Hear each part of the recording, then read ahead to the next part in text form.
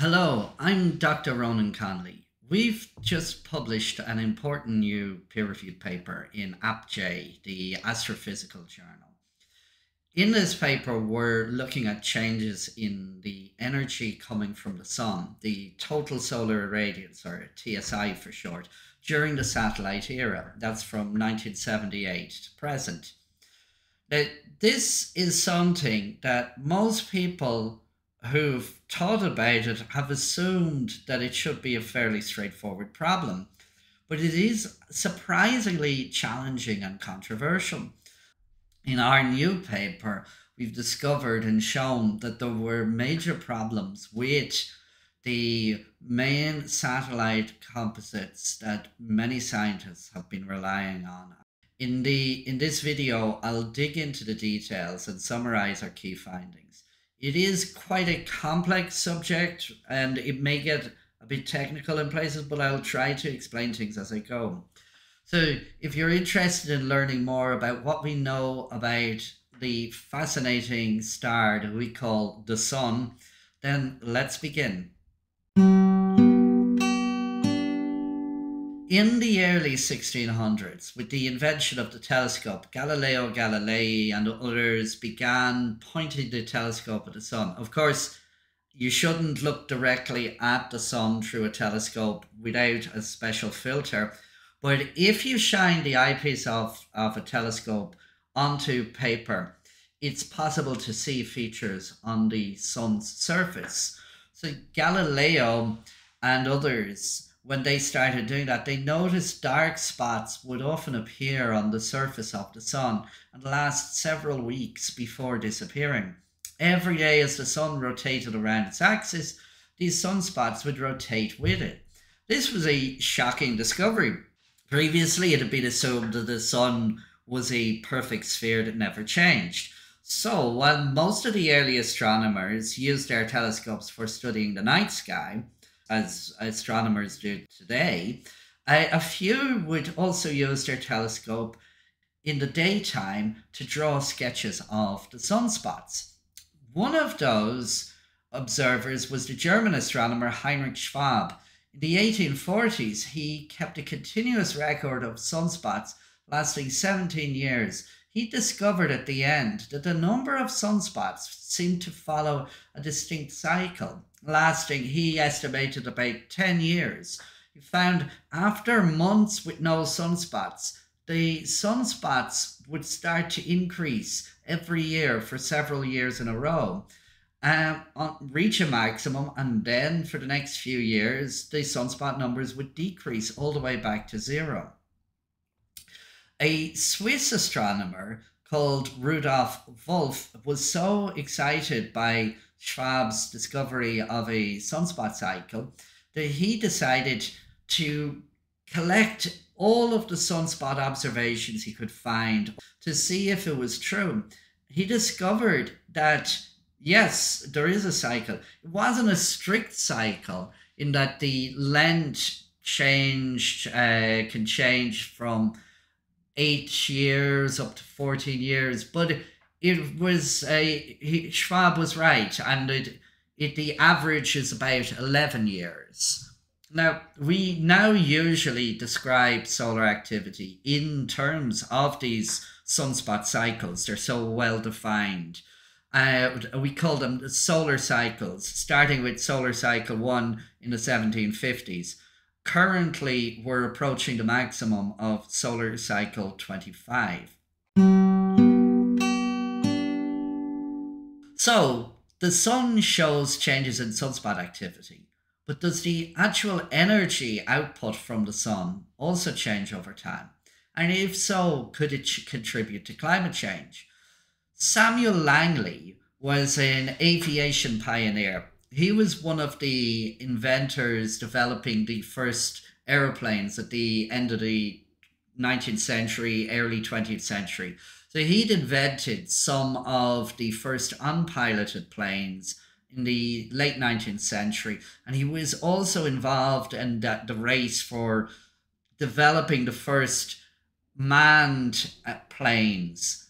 And that race was eventually won by engineers like the Brazilian Santos Dumont, the North American Wright brothers. But Langley's contributions were so significant that the US's first aeronautic laboratory was named after him, and that later became what's now NASA's Langley Research Center in Virginia. Langley was also an astronomer, and he was very interested in the possibility that the sun's energy might change over time. And he wondered whether, if that was happening, it might contribute to climate change. In an important paper published in APJ in 1904, he called on scientists to begin systematically trying to monitor the solar radiation reaching the Earth. Now, he warned, however, that any attempts to do so would be imperfect. He realized that measuring the sun's energy from ground was not a direct measurement of the energy that reached the Earth's atmosphere. Instead, it was just whatever hadn't been absorbed or reflected away uh, by the atmosphere on the way down. Uh, still, at the time, the idea of flying up high enough to leave the Earth's atmosphere was still complete science fiction. So Langley decided it was the best they could do for the time being. In 1890, he had founded the Smithsonian Astrophysical Observatory, SAO. So he organized a measurement program at the SAO that would continue until 1962. Years after the SAO program had ended, a scientist called Doug Hoyt tried to see if he could find any trends in the data. Unfortunately, he discovered Langley's concerns had been correct. It turns out he that the variations in the SAO measurements seem to been dominated by changes in local weather, observing conditions, differences between the instruments used for each set of observations. So it seems Langley was right. If we want to properly monitor the changes in the sun's energy, we need to do so from above the Earth's atmosphere. Now, fortunately, by 1979, that was no longer science fiction. We are now capable of launching satellites in fact, Doug was on the science team in charge of the first satellite mission to continuously monitor the sun from space, Nimbus 7. Um, and uh, in 1980, the second satellite mission was also launched uh, for TSI. The first ACRIM instrument was launched on NASA's SMM satellite. By this stage, we had more than 350 years of sunspot observations. So, one of the first questions that scientists wanted to answer was Is there a relationship between sunspots and TSI? And if so, what is it? People had been speculating on different uh, possibilities. Uh, in 1976, Jack Eddy had pointed out in the journal Science that in the mid 1600s there was a period when sunspots had almost completely disappeared for about 70 years. Climate scientists had noticed that that, that, that was also a period of global cooling, what we now call the Little Ice Age. He suggested that maybe that wasn't a coincidence. But without direct TSI measurements, we couldn't know. So, roughly, there were three competing hypotheses on the relationship between sunspot activity and TSI. One, the sunspots are dark features, so maybe when sunspots are there, that reduces the amount of TSI leaving the sun. Two, on the other hand, you could have when sunspot numbers increase, sun seems to become more active, more solar flares, more solar eruptions. So maybe uh, less sunspot activity means less TSI and global cooling. Or maybe TSI behaves independently of the changes in sunspot activity. As we'll discover, it turns out that all three of those hypotheses were partly right and partly wrong. In this graph where I see here the first year of the ACRIM 1 satellite measurements on the top here, and on the bottom, we have the daily sunspot numbers at the same time. And you notice that when a sunspot group, a large sunspot group passes by and you get a high sunspot numbers, that's often associated with a, sudden drop in TSI um, of a couple of watts per meter squared. You can see I've shown three examples here. So if we can look at the on the this is a graph here you can see that this is TSI and this is the number of sunspots. And you can see that the on average uh, the higher the sunspot numbers the lower the TSI there's a relationship there over the course of one year.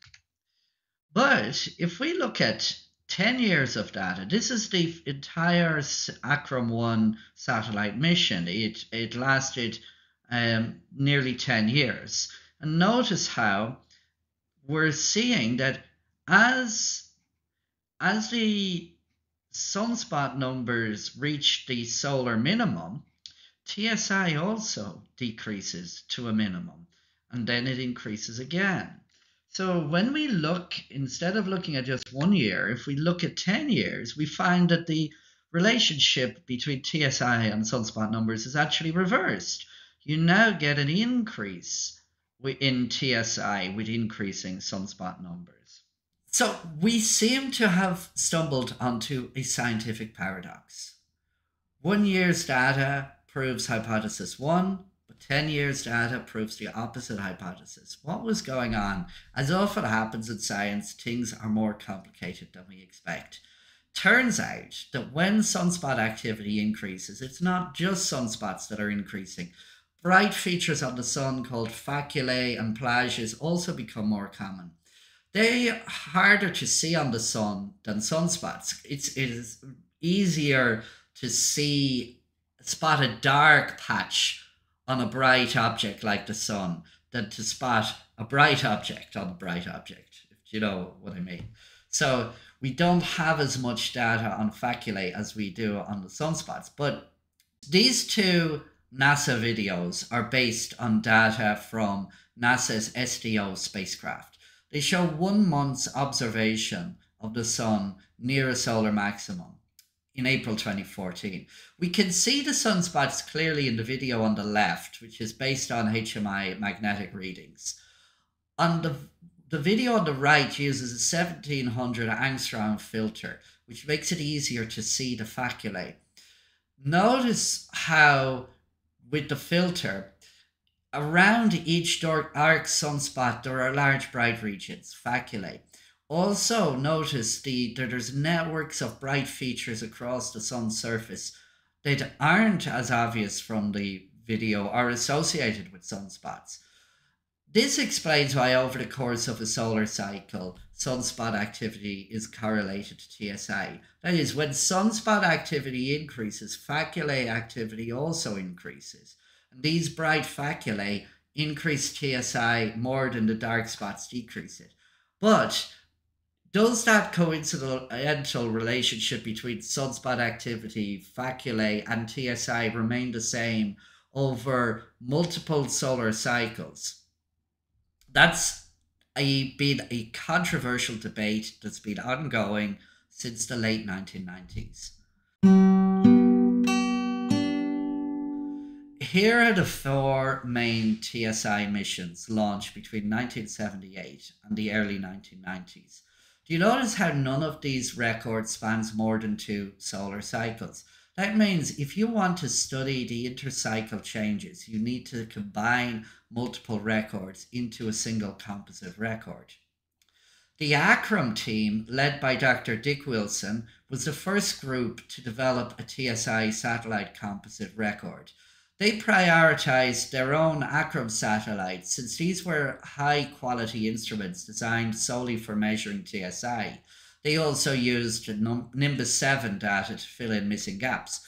The ACRIM team updated their composite multiple times during the 90s and early 2000s.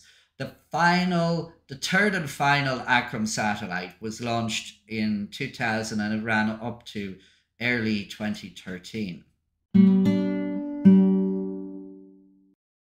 In this graph, I'm plotting the final ACRIM composite after from 1978 to 2013. Now we're looking at three solar minima.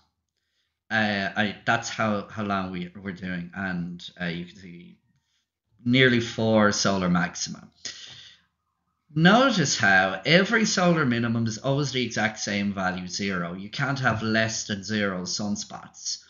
But the TSI in each minimum is different. Also, we can see that the TSI during the solar maxima uh, shows different uh, behavior, slightly different behavior than you uh, see for the sunspot numbers. That is, on short time scales, sunspots decrease TSI. Over the course of a solar cycle, TSI rises and falls in tandem with sunspot numbers. But over longer time scales, TSI could also change between solar cycles. This had two immediate consequences. First, it meant that relying on sunspot numbers was not good enough for working out how TSI had changed over the centuries. So, according to the ACRIM composite, it's true that there is a linear relationship between sunspot numbers and TSI, but the key point here is that the changes in monthly sunspot numbers can only explain 47% of the monthly TSI changes. So some other aspects of TSI variability are not being captured by the uh, sunspot record. A second consequence was that the ACRIM composite showed an increase in TSI between the solar minimum in the mid 1980s and the next solar minimum in the mid 1990s. The 1980s and 1990s were a period of global warming, and the UN and others had been claiming that that global warming was due to increasing greenhouse gases. But the ACRIM composite suggested that at least some of that global warming might actually be due to increasing TSI. Then, later in the early 21st century, global temperatures famously entered a temperature hiatus, where temperatures neither rose nor fell for more than 15 years. And that was a period when, coincidentally, the ACRIM composite suggested a slight decrease in TSI. Was this just a coincidence, or did it suggest that maybe climate scientists had been underestimating the sun's role in recent climate change? Starting in the late 1990s, two scientists, Professor Claus Frohlich and Dr. Judith Lean, decided they didn't like the ACRIM results. They decided they would develop their own rival TSI composite. Professor Frohlich was the director of the PMOD Observatory in Davos, Switzerland, so their composite came to be known as the PMOD composite. In the an interview for a NASA website in 2003, Dr. Lean explained one of the motivations for them to develop the PMOD composite was because they were worried that the ACRIM results might make people think that global warming could have a natural explanation and that that might interfere with international greenhouse gas policies. So they decided that each of the satellite records used by ACRIM needed to be adjusted. Their adjustments were different for each satellite. But what was the net effect of PMOD's various adjustments and data choices? Here is the PMOD satellite record. If you remember, uh, for the ACRIM composite, we were finding a lot of variation in TSI between each solar minimum, but now that's all gone. It's almost exactly the same for each minimum, exact same as sunspot numbers. Um, also, we can see that a lot of the the variability in the sunspot in TSI in the sunspot maxima has also been removed. We now have almost exactly the same for both maxima and minima. As a result, you can see here that we have an almost exact linear relationship between the sunspot numbers, and TSI over the entire satellite record.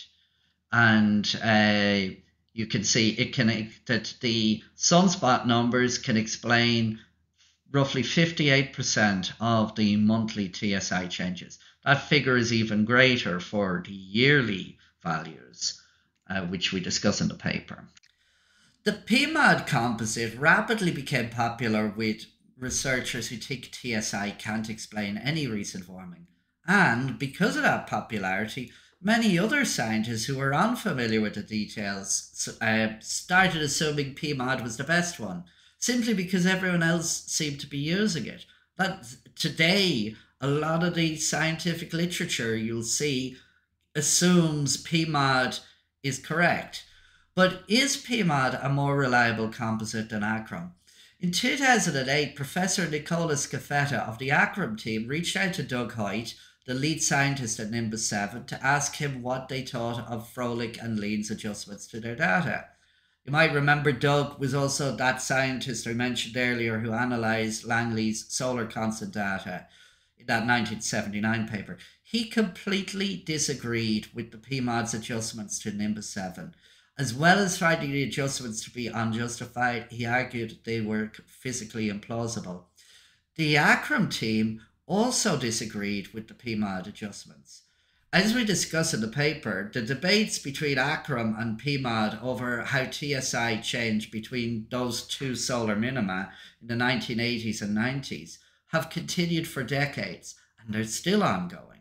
But in our new paper, we show there's also controversy over the TSI trends since then.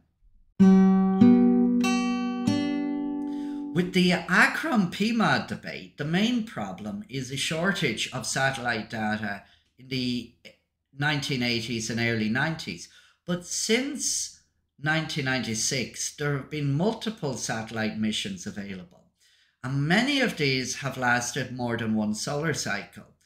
So now the challenge is deciding which satellite missions are the most reliable. These are the five TSI records um, launched since 1996 that have more than a few years of data. And you can see three of them are still active, and uh, ACRIM 3 and SORCE each had more than one solar cycle's worth of data 13 years, 17 years. And that they that at any one point there was at least two and up to three or four satellite missions available at the same time.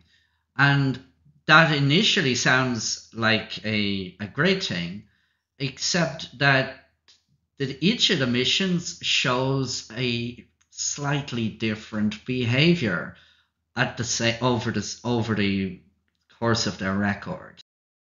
For example, do you notice the way that this uh, blue ACRIM tree curve is at the top of the above the green and red at the beginning of the of the ACRIM tree mission. But by the end of the ACRIM tree mission, it's down below the other two graphs.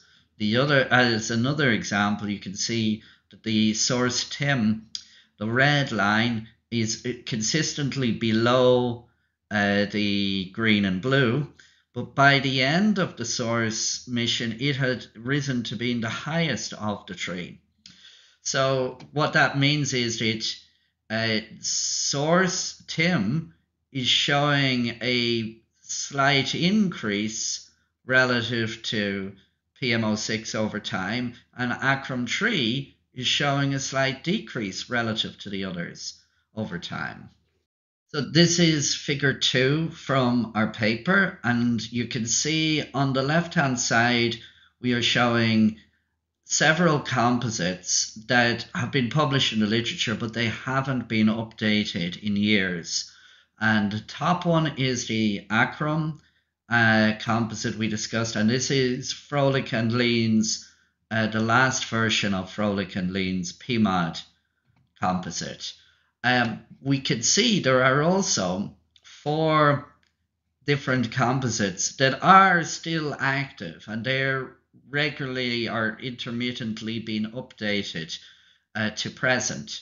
So these, at the moment, before our paper, these four are the most up to date satellite TSI composites. But we realize there are many different scientifically plausible ways that you could combine the satellite data into a complete composite for the satellite era. In uh, the paper, we update another seven of the discontinued composites, and we also develop uh, an additional 10 new composites that have never been, uh, that apparently have never been attempted before. And that brings us to a total of 21 different composites.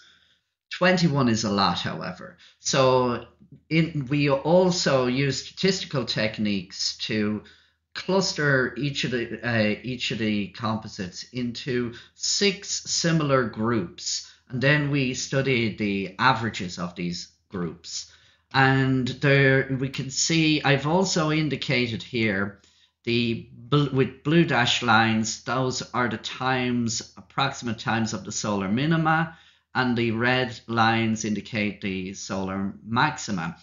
We can see group A looks pretty much like the PMOD composite. There's almost no changes in either minima or maxima. And that's not too surprising because this is the group that contains all of the composites using Froelich, uh, the Froelich's PMOD adjustments. But the other five groups show considerable variability in especially the minima, um, but also in the maxima. Now, the groups B and C, their updates to the ACRIM composite. The ACRIM composite, as we saw, ended in 2013. So to update it, you need data just from 2013 on. So these ones are different combinations of the using uh, the available satellites for the data after 2013.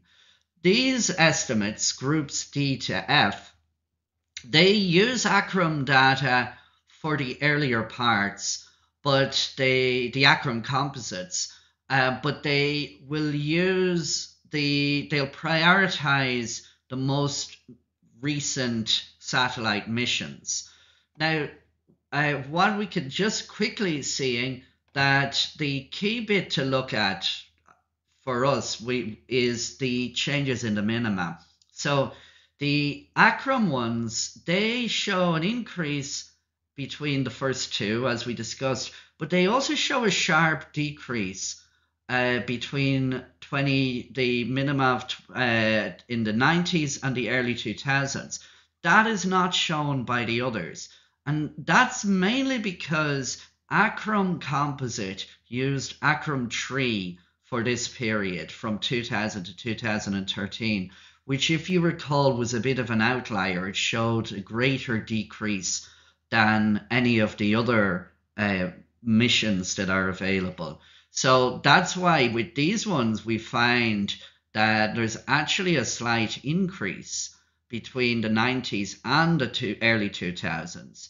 And um, for D and E, we find a slight decrease for the, the most uh, in the most recent solar minimum, but group F shows an increase over the all four of the solar minima in the satellite era. So, which one of our new TSI composites is correct? Well, in my opinion, I find composite A the least plausible because it relies on dodgy data adjustments that seem to have been politically motivated rather than scientifically justified. That's my opinion. Um, we give details in the paper uh, of other problems with it. Of the remaining composites, because the ACRIM 3 satellite data seems to be an outlier among the most recent missions, I personally think that composites D, E, and F are probably more likely to be correct. But maybe ACRIM tree was correct. I don't know. After those remaining three composites, I think they all are plausible. But it is worth noting that both D and E partially used the late Professor Fröhlich's PMO6 satellite mission on the SOHO spacecraft. In addition to the PMOD adjustments he applied to the other satellite missions, Froelich also applied adjustments to his own satellite record. He sadly passed away in 2019, so he could no longer comment. But I, I must admit, given what he did for his adjustments to the other records, I'm frankly a bit wary of his adjustments to his own data. So maybe composite F is the most reliable. If that's true, then it means we'll have to com- completely revisit what we know about TSI changes, not just in the satellite era, but over the past few centuries, because uh, all, all of the TSI reconstructions, and there's a lot of them that are currently assuming that sunspot numbers are capturing much of the TSI variability. They're based on uh, assuming that, that this is accurate, the group A is accurate. But if F is correct, then you can see, just notice this divergence between the sunspot numbers and TSI over time. That suggests that that there are that sunspot numbers are missing out on key intercycle changes in TSI. And the same applies for groups B, C, D, and E as well. So it is only if group A is correct that the uh, the sunspot numbers are a good proxy for TSI. But in the end, we don't know. So we've offered all of the data sets to the scientific community so that they can investigate for themselves. So that's the end of our long journey from Galileo to today. If you like this video, please like, subscribe, and share. And if you want to learn more, the paper is available in the Astrophysical Journal, and you're welcome to download the data. Ours, and you can find out more about our other research at the CERES website. So thanks for staying with me to the end and hope to see you in later videos.